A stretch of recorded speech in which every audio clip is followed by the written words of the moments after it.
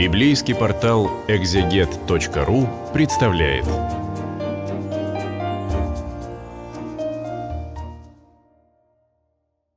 Семнадцатая глава Евангелия от Матфея. Я читаю свой перевод с небольшими комментариями для библейского портала «Экзегет». Это глава о достоинстве Иисуса, но не только об этом, а э, вот отчасти она уже приближается время страданий его, и вот отчасти она раскрывает тему, как э, тот, кто больше всего этого мира, как он вписывается в этот мир. Э, только что в 16 главе прозвучало исповедание Петра «Ты Христос, Сын Бога Живого», и э, здесь неожиданно Иисус дает э, своим ученикам то самое знамение, которое просили от него фарисеи, садукеи, которое он им не давал, говоря, что только знамение он и пророка они увидят, а здесь они видят. Почему? Может, потому что не просят? Потому что э, это знамение им дается как некоторое подтверждение того, что и так они поняли, а не как средство убедить их в том, что им не близко. Фарисеям и Садукеям было бы оно именно таким. А через шесть дней Иисус берет с собой из всех учеников только Петра, Якова, его брата Иоанна. Почему только их? Мне кажется, потому что вот они по каким-то причинам были готовы это увидеть. Вот, э, знаете, не все одинаково быстро все схватывают. В любом классе есть отличники и отстающие, да? И в жизни тоже. Есть те, кто очень быстро что-то успевает, есть те, кто нет. Обычно они злятся, те, кто успевают на тех, кто нет. А здесь вот просто каждому в свой час и с ними поднимается на высокую гору. Там он пред ними преобразился, его лицо просияло, как солнце, одежды засветились белизной. Интересно, что больше ничего не сказано, очень краткое описание, просто э, то, что явно сверхъестественно, да, то, что не могло быть само по себе. И там им явились Илья и Моисей, они беседовали с Иисусом. А Илья и Моисей — это пророки и закон, ну, обычный порядок законы пророки, ну, здесь вот так, то есть э, первый из великих пророков и главный, э, по сути дела, единственный посредник дарования закона. Э, законы пророки, напомню, это название, собственно, Ветхого Завета, еврейской Библии в Новом Завете. Петр сказал на это Иисусу, «Господи, как же нам здесь хорошо! Если тебе угодно, поставим тут три шалаша, один тебе, один Моисею, один Илии». Вот такое почитание шалаши. Ну, кстати, есть иудейский праздник Суккот, праздник Кущи, когда живут как раз в шалашах, память об исходе из Египта. Вот э, такое прямо э, живое напоминание о том, что жизнь — это странствие, и вот э, постоянный дом, он не здесь, не в этом мире. И вот ученики, собственно, так Петр, по крайней мере, и хочет это сделать. И как-то здорово вот остаться, пусть на время, но продлить это время. А сами они даже готовы без шалашей просто на земле там спать. Да ладно уж, ерунда какая. Тут так здорово. Пока он говорил, их накрыло сияющее облако, из этого облака прозвучал голос. «Это мой возлюбленный сын, слушайте его». Похоже на то, что было в момент крещения, да? Такое как бы повторное а подтверждения свыше. Больше такого нету во всей истории до распятия. А, и зачем это здесь? Может быть, потому что вот это краткое исповедание Петра, оно открывало только дверь, и э, Петр и еще два ученика, Яков и Иоанн, может быть, еще не до конца были готовы не просто один раз это сказать, но жить по этому исповеданию. Им нужно было это увидеть. Может быть, потому что это исповедание открывает для них дверь вот какое-то начало какого-то огромного мистического путешествия, которое только лишь вот краешком здесь им явилось, а потом будет совсем другая история. Не знаю, вот не могу сказать однозначно. Ученики, услышав это, пали ниц в огромном страхе, а Иисус подошел и коснулся их со словами «Вставайте и не бойтесь». Они подняли глаза и увидели, что никого больше нет, кроме Иисуса. А когда они спускались с горы, Иисус повелел им, никому не говорите об этом видении, пока Сын Человеческий не воскреснет из мертвых. А как же шалаши? А вот э, нельзя застревать в своих приятных впечатлениях, да, вот а эти моменты бывают, и они, наверное, делают нашу жизнь осмысленной, иначе кажется, зачем все это здесь зря, но невозможно их заставить длиться. А, и смотрите, пока Сын Человеческий не воскреснет из мертвых, они должны об этом молчать. То есть э, вот это чудо не должно становиться доказательством. Люди должны э, сами понятия принятия его мессианское достоинство, но не нужно их грузить вот этими чудесами, так потом будут любить в житиях их пересказывать и так далее. Да, вот такое нагромождение чудес как подтверждение, но подтверждение нужно там, где веры особо не хватает. Ученики спросили его, почему же книжники говорят, что сначала должен прийти Илья? Ну, это, собственно, из, э, из пророка Малахии, да, это не то, что книжники сами выдумали, э, но такое стандартное толкование. Он сказал им в ответ, да, приходит первым Илья, чтобы все устроить. Но, говорю вам, Илья уже пришел, его не признали и поступили с ним, как захотели. Так и сыну человеческому предстоит пострадать от их рук. Так ученики поняли, что Иисус имел в виду Иоанна Крестителя. Ну, его казнил Ирод, мы об этом уже читали. А, и, э, конечно, здесь тоже вот, может быть, многие ожидали приход Ильи с неба, с колесницы огненной, да, как и он вознесся, описано в Третье Царство, так и здесь он должен явиться в каком-то совершенно удивительном облике, но э, он может явиться и просто как человек, и ничего особенного не произойдет. В смысле, никаких особенных чудес. А когда они вернулись к народу, к Иисусу подошел человек и пал пред ним на колени. Вот смотрите, они возвращаются, и сразу опять этот мир с его страданиями, с э, больными, которых нужно излечить. И пал пред ним на колени со словами. «Господин, жалься над моим сыном, он эпилептик и мучается страшными припадками, то и дело бросается он в огонь или в воду. Его приносили к твоим ученикам, но они не могли его исцелить». Ага, похоже, пока они там были на горе, к ученикам приносили этого самого Э, больного юношу, и тот не смог его, и те не смогли его исцелить. То есть э, попытались хотя бы, но вот никак. Иисус сказал в ответ, «То род неверный, как долго мне еще быть с вами? Как долго мне вас терпеть? Приведите его сюда ко мне». Он раньше так не говорил с людьми. Или это про учеников? Что плохого? Не хватило веры? Ну и что? Ну, им там всем не хватает. Или вот этот контраст с э, тем, что они видели только что, да? Тем, что они пережили только что.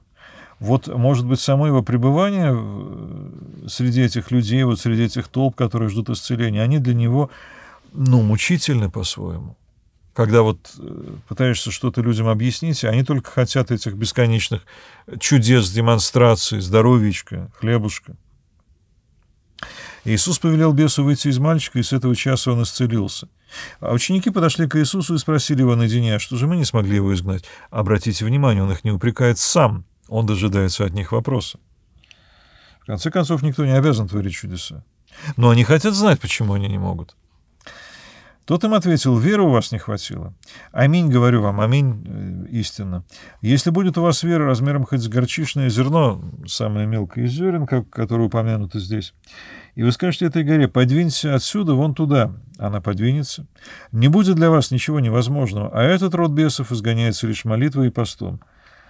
Э, ну, кстати, этого стиха в многих древних рукописях нету, где, кажется, действительно не очень он вписывается, потому что Э, про молитву и пост здесь не сказано ничего. Ну ладно, молитва еще более-менее э, с верой связана, а пост все-таки еще дальше от нее стоит, да? Э, ну, неважно, может быть, это то, что было добавлено в, в ходе каких-то редакций этого текста, когда люди размышляли, а что, собственно, дает веру, да, там в чем состоит подвиг веры, ну вот молитва и пост — это некоторые действия, которые позволяют ее усиливать. А хотя все равно горы не, не переходят. Да и правильно, а зачем горами двигать? Ведь ничего хорошего не получится, если горы начнут туда-сюда передвигаться. Нельзя будет нормально жить в этой местности. Понятно, что это некоторый образ. А понятно, что здесь сравнивается горчичное зерно, самое мелкое, и горы, как, пожалуй, самый крупный объект, доступ, доступный непосредственному наблюдению людей. Э, и, э, по сути дела, вот оказывается, что вопрос о вере — это такой очень больной вопрос. Вот э, нам всем не хватает веры, кто двигал горами. Я таких людей не знаю. Э, и тогда, получается, все бесполезно. А молитва и пост — это позднее приписанная инструкция. Ну ладно, ладно, горами вы не двигаете, но ну хотя бы что-то сделаете, может быть, у вас получится, да? Вот, на мой взгляд, выглядит немножко так — но э, смотрите, они только что были на горе, которая никуда не двигалась, кстати. Э, на горе, на которой Иисус беседовал с Моисеем, Ильей, и трое из учеников были этому свидетели, свидетелями. И э, вот такой резкий контраст, да, вот гора, на которой они беседуют, и, в общем, все остальное как-то отсутствует. Вот такой какой-то мистический сокровенный опыт. И вот э, плоть этого мира, в котором все это кипит, в котором больно, в котором жалко тех, кому больно, в котором нужны исцеления, и э, любое действие двигать горами. Нет, не надо, пожалуйста, у нас тут города, селения, поля, куда вы эту гору двигаете, оставьте ее на месте, лучше бы даже ее не трогать, да. И вот этот контраст, который э, возникает, он вот как бы мост, да, оттуда сюда и отсюда туда, но Иисус не остается там, и учеников там не оставляет, даже этих трех. Он спускается в этот мир. Чтобы тоже, кстати, не горы двигать, а чем-то другим заниматься. Когда они все вместе были в Галилее, Иисус предупредил учеников, «Сыну человеческому предстоит быть преданным в руки людей, он будет убит и на третий день пробудется». Это сильно их опечалило. Уже второе предсказание. Теперь, кажется, до них начинает доходить, потому что до этого Петр говорил, нет, не надо, а теперь просто опечалились. И вот опять контраст, да, гора и э, то, что происходит здесь внизу. Они пришли в Капернаум, город, э, где часто бывал Иисус. К Петру подошли сборщики подати две драхмы с человека и спросили, а ваш учитель, он заплатит две драхмы? Это подать на Иерусалимский храм. Собирали со всех иудеев. Э, это не государственный налог, поэтому как-то принудить к этому было трудно. Но человек, который считал себя иудеем, конечно же, должен был платить эти две драхмы. Это немного. Драхма — это дневная зарплата или динарий, э, просто два вида монет, например, на одной стоимости. Э, это дневной заработок рабочего паденного, да, то есть, в общем-то, в год две драхмы заплатить нетрудно. Сколько сегодня получает какой-нибудь гастарбайтер, которого зовут там что-то сделать быстренько, умножьте на два. Годовой налог, ну, совсем немного. А, и, а с другой стороны, э, вот это храмовые какие-то служители, да, то есть заплатить им налог означает признать их господство над собой. Это не государство, которое берет, как бы не спрашивая, да, а эти говорят, вот, ну ты подчиняешься нашим храмовым правилам, подчиняется ли им Иисус? Скандальный момент, он же, э, в общем-то, уже как бы разорвал отношения с фарисеями, садукеями, да, и, по сути дела, они его обвиняют в том, что он э, все правила их нарушает, вот противопоставляет себя им, а две драхмы заплатит, мелочь такая. А Петр сказал, да, заплатит. Почему? Ну, потому что Иисус ничего не говорил никогда против э, этих обрядов. Он не говорил, не надо ходить в храм Иерусалимский, не надо молиться, не надо поститься. Никогда он этого не говорил. Он, более того, подчеркивает, что закон Моисеев, да, он э, не придет, пока не исполнится. Он просто говорит о том, что надо исполнять его суть, а не придираться к внешним мелочам. А когда он вошел в дом, Иисус сам первым обратился к нему с вопросом. Потому что вообще-то Петр не спросил его, а как бы э, заранее обещал. Сам обратился к нему с вопросом. «Как ты думаешь, Симон?» О, кстати, уже не Петр, а Симон, потому что здесь он действует скорее как э, такой хороший иудей своего времени, чем как тот Петр, э, имя данное Иисусом, который исповедовал его мессианское достоинство и который скала, на ней будет построена церковь. Так вот, как ты думаешь, Симон, с кого собирают подати и пошлины земные цари? Со своих сыновей или с чужих? Ну, понятно, что э, со своих сыновей цари земные не берут подати, да, они, э, наоборот, на эти подати их содержат. Тот сказал, с чужих. Иисус уточнил, значит, царские сыны от них свободны. А если он сын, и э, Петр в прошлой главе, мы читали об этом, сказал, ты сын Бога живого, то какая подать может быть сына? Да? Храм — это э, дом Бога на земле.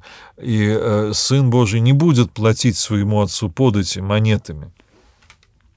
Значит, царские сыны от них свободны. То есть не надо платить. Но, чтобы нам не подавать им повода для соблазна, ступай к морю, забрось удочку, возьми первую же попавшуюся рыбу, а он же рыбак, да, это его профессия, и раскрой ей рот, там ты найдешь статер. Статер — это монета в 4 драхмы. Вот его и отдай, как подать за меня и за себя. Ты, Петр, обещал, что я заплачу. Я не буду э, создавать конфликтную ситуацию. Ты заплатишь. Но не моими деньгами. Вообще мы, кстати, нигде не видим, чтобы Иисус держал в руках свои деньги. Он там динарий будет просить показать, но это другая история, да? И динарий ему дадут. Как бы у него с собой нигде нету ни одной медной монетки. Как можно было жить так? Непонятно. А, то ли все ему давали уже готовое все, да, не нужно было покупать. Там Иуда у нас носил денежный ящик не, не знаем, вот неважно, Иисус и деньги одна из тех тем, которые просто не раскрыты в Евангелии. Но здесь э, это подробно описано, да, то есть Петр дал обещание, он его исполнит, но и не свои отдаст. Как-то Петр будет за него платить. А э, он заплатит чудесным образом найденную монету, да? Вот как бы отец пошлет ту монету, которую можно будет положить э, в корзину или в ящик для сбора подати для самого же отца. То есть как бы вот э, потом это прозвучит «отдайте кесарю кесарю», здесь «отдайте отцу отцова». То, что он послал, верните ему. И одновременно, смотрите, вот такой выход здесь не единственный случай, а потом все больше и больше их будут, когда будут стараться поставить такую жесткую ситуацию, да или нет. Причем любое «да» и любое «нет» будет опасным. Заплатит, если заплатит, ага, он подчиняется храму. Если не заплатит, ага, он жадный, ну или он там нарушает наши правила традиции. И каждый раз Иисус находит ответ, который выходит за эти рамки. Да, вот э, загоняют в угол, а он проходит сквозь стену. Нет угла. Э, мне кажется, это очень хороший пример.